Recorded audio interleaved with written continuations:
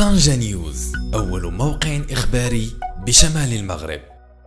السلام عليكم. آه، المرابط عبد الصمد الكاتب الإقليمي للجامعة الوطنية للصحة المنضوية تحت لواء الاتحاد المغربي للشغل. شكرا لموقع آه، طنجة نيوز على الاستضافة للحديث حول موضوع اللي كيهم الساكنة ديال مدينة طنجة. عموما وكيهم آه، عموم الشغيلة الصحية بالإقليم وخصوصا الموظفين بالمركز الاستشفائي ديال محمد الخامس.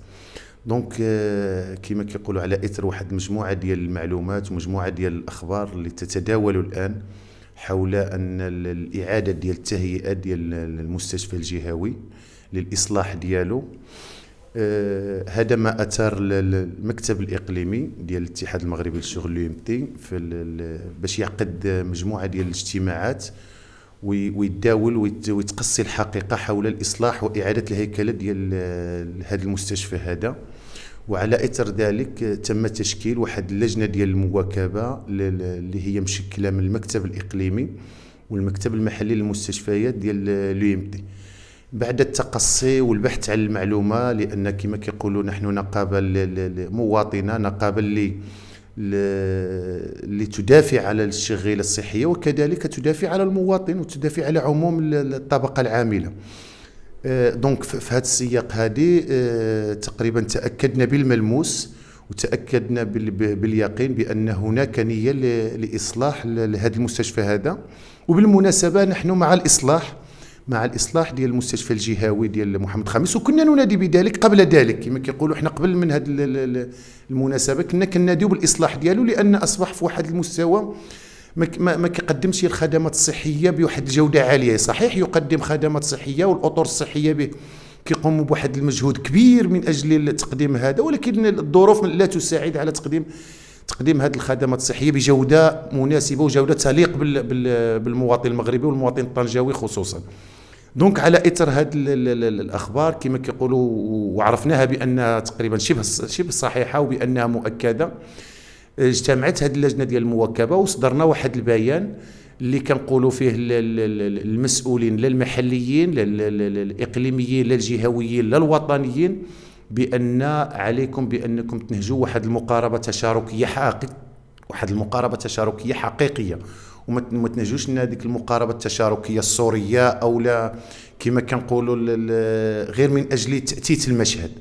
نحن في الاتحاد المغربي للشغل وحنا أول ما نطرق لهذا الموضوع هذا بالمدينة ولأن الإخوان ديالنا لا باللي في المكتب المحلي ديال محمد الخميس للمكتب الإقليمي قاموا بواحد الدور كبير صراحة الله باش يعرفوا المعلومة. وصدرنا هذا البيان كما قلت لك.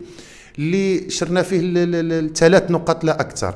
هي النقطة الأولى هو التاييد ديالنا على أن آه، خص يكون الإصلاح ديال المستشفى وكذلك الإصلاح حتى ديال المؤسسات الاستشفائية ولا المراكز الصحية اللي في المدينة باش يقدموا خدمات صحية. النقطة اللي هي الثانية هو كما قلت لك الدعوة ديالنا للمسؤولين باش الإشراك ديالنا منذ البداية ماشي حتى المرحلة الأخيرة.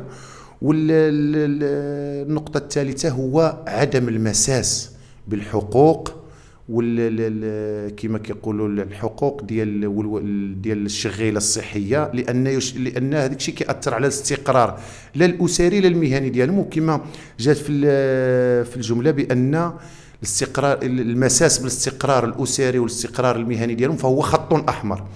دونك في هذا السياق هذا في هذا السياق هذا تم كما كيقولوا التفاعل كبير مع البيان ديال ديال الاتحاد المغربي للشغل لا من طرف المسؤولين لا المحليين لا الإقليميين الجهويين صحيح آه، بهذه المناسبة كنشكرهم لأن جميعهم تواصلوا معنا ويطمئنوننا يطمئنون كمنظمة كمنظمة ديال الاتحاد المغربي للشغل بأن سيتم الإشراك ديالنا الفعلي.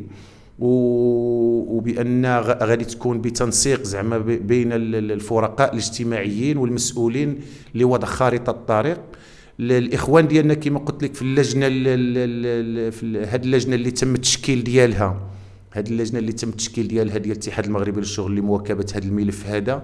منكبة الآن بأن باش كما كيقولوا باش تعدل واحد ال plan stratégique ولا تعدل واحد كما كيقولوا الكيفيه ديال الإخلاء ديال المستشفى باش ما يكونوش هناك ضحايا وباش ما يكونوش هناك تعسف. وفي هذا السياق الحمد لله الآن بأن تقريبا نقول presque سالينا هذا ال plan d'action سالينا كما كيقولوا كيفاش الطريقة باش باش يتنقلوا ذاك الناس باش يمشيو يخدموا في ظروف ملائمة.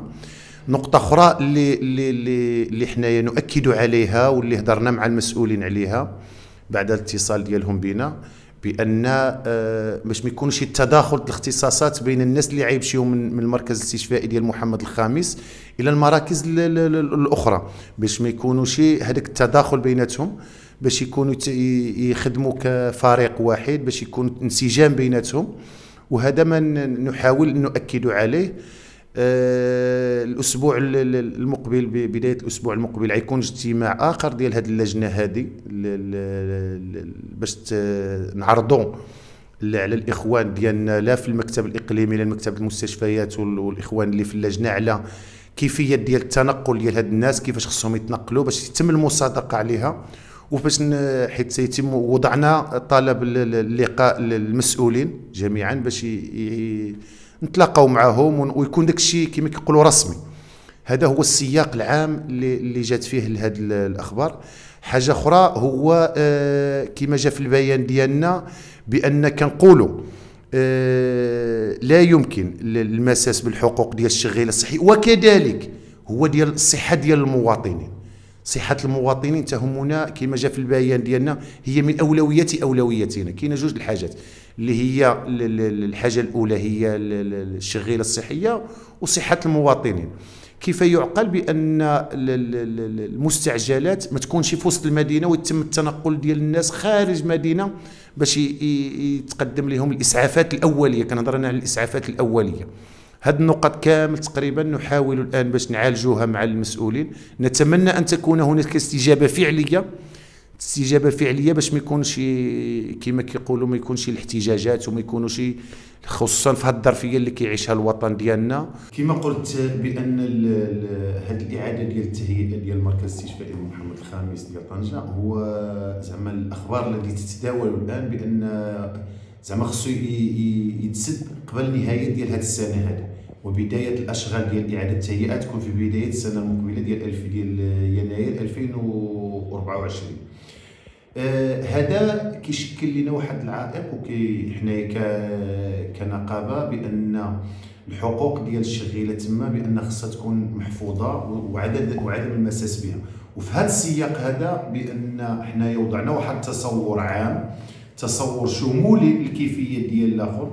مجموعة les services زعما اللي ما يكونش فيهم زعما نحن في التصور ديالنا ما يكونش فيهم مشكل. مثلا ديال ال maternité ديال الولادة مثلا ديال ال dialyse مثلا كاين بزاف ديال services اللي هما ما فيهمش اشكاليه ولكن اللي هو نحث عليه واللي كنقولوا ضروري ولأن كما كنقولوا حنا كنقابة مواطنة تهمنا صحه المواطن.